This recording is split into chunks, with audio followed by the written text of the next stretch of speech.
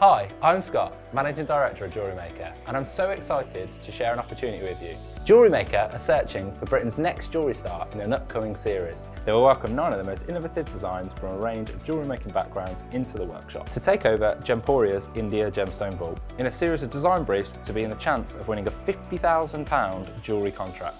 The competition will be judged by a panel of industry experts who are searching for the original use of tools, techniques and materials that celebrate the selected gemstones.